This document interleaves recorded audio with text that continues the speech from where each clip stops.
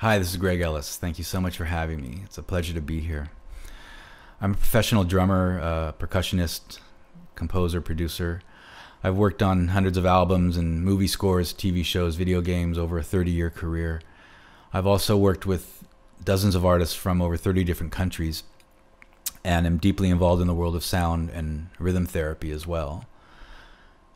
I've seen firsthand throughout my career uh, the effect that sound has on us. Certainly, in the form of music, it's it's something that can be designed to make us feel good or to affect us in other ways. But sound affects us in all forms, not just music. Um, certainly, the tone of our voices, the level at which we speak. But the sound I'm going to talk about today is the sound of noise and noise pollution that is permeating uh, every aspect of our natural ecosystems as well as our own individual sense of uh, health and well being. We may not make a connection immediately of sound of noise pollution being immediately connected to climate change. Um, as we think of climate change, we think of the gases and toxic emissions that are uh, being produced by machinery and uh, technology, construction, traffic noise, trains, subways, buses, uh, airplanes, in the ocean, shipping and oil drilling. But these things that release the worst things for our environment and our atmosphere are also generating the noise pollution that's affecting our, our world uh, in very much a similar way the things that are the worst producers of these gases are actually creating the most noise. Uh, I'm going to share some examples of how noise pollution is affecting not just us, but our natural world as well.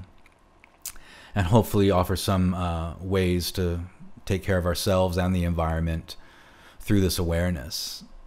Um, in nature, it really affects all animals. Um, certainly by drowning out the, the calls and songs and ways all animals communicate through sound, uh, is affecting ecosystems drastically. It's uh, driving some animals to leave their natural habitats, which leaves gaping holes in the ecosystem where some of these animals are uh, the ones that disperse the seeds and pollinate the flowers. As certain predators are drowned out and they leave their environment, then plant grazers are more plentiful and uh, you'll see full ecosystems be completely wiped out just by the noise that's being generated around them.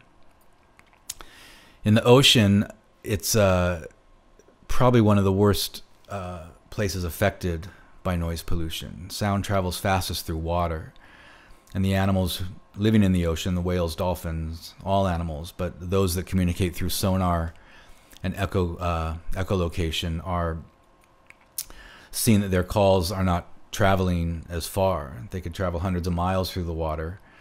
But now with the low hum of shipping and oil drilling and uh, other echolocation devices, mechanical devices, these frequencies are canceled out by the mechanical noise. So the sound doesn't travel as far. This drastically affects, his, affects the um, migration and mating, uh, and then in turn the population of these animals.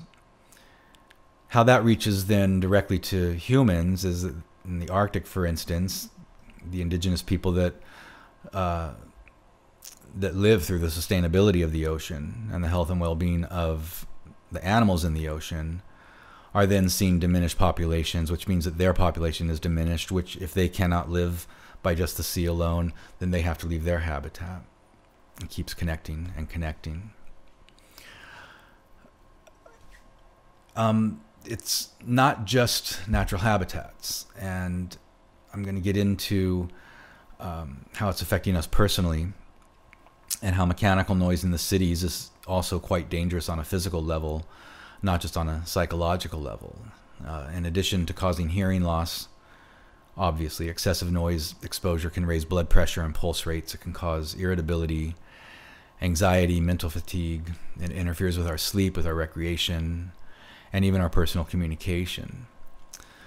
So, although the physical effects of noise pollution uh, can be tangibly measured and diagnosed, it's more the psychological effects that I believe are becoming much more harmful. the machine noise of our daily lives interrupts and disconnects us not just from our own innate, sense of connection to our natural environment, but it affects our own internal processing of thoughts and emotions as well. And for some city dwellers, it may be impossible to escape the noise of their surroundings, but it's important for one's mental health to try and find a space or time during the day to be in as quiet a place as possible.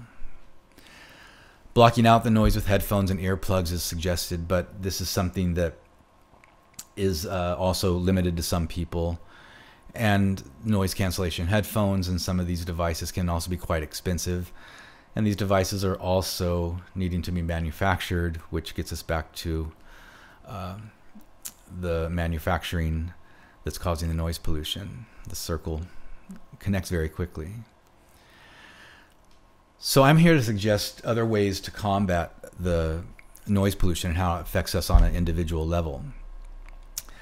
Um, in terms of the environment and a broader picture, we know that electric cars, for instance, don't generate the same noise nearly as loud as gas driven cars. Machinery is the same way. Alternative source, energy sources are actually very quiet by nature solar and wind, um, water power.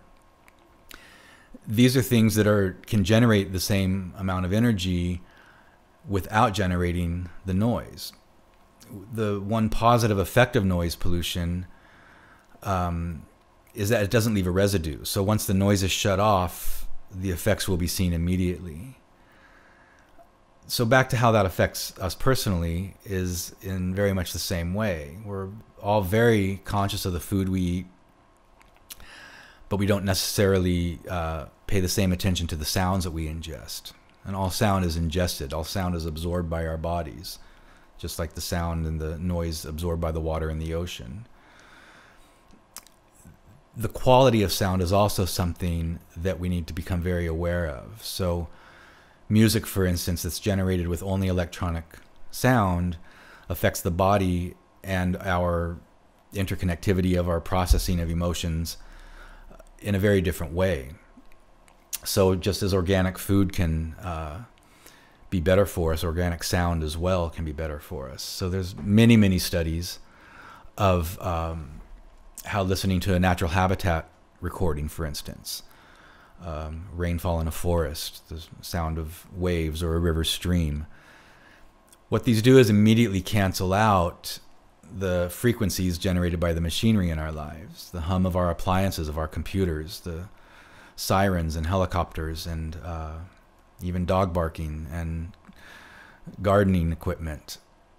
All these things are generating a frequency that can be found in nature. If you find the right frequency in a natural sound, it can actually cancel out the mechanical noise in the way that the mechanical noise is canceling out the organic sounds in the oceans and in the uh, other natural habitats.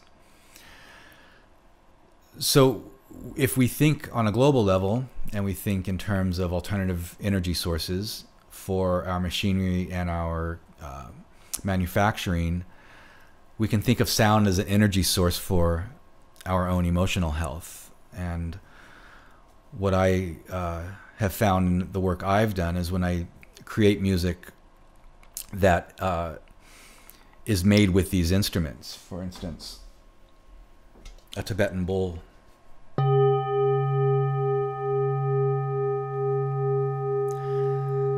this sound immediately affects the body differently.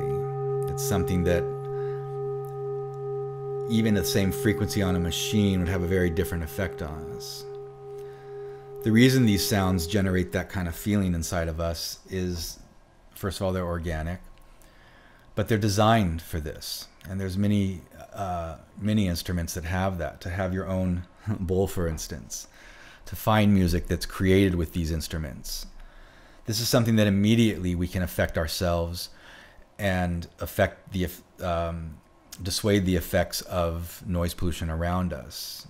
It reduces the stress, anxiety, helps us sleep.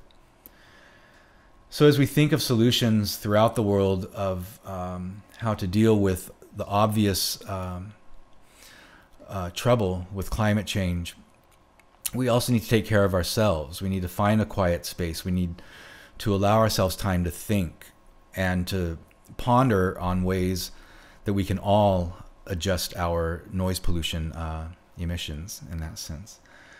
Um, I th- I think that without that kind of space and that time for our mind to regenerate itself and to allow our thoughts to expand and grow, who's to say that this noise is not distracting a child somewhere who doesn't know how to have that space and that child is the one that could come up with a solution that we're talking about um, to inspire artists in a new way to create work that uh, actually is meant to affect us and our positive state of health and well-being instead of thinking of it just as another commodity to put out. Uh, not to sound too californian but i think that consciousness raising is something that could benefit us greatly um, so in closing i think uh, to be aware of the connection that sound has, try living in a way that um, you treat sound as you would treat food, as you would treat a smell in the air.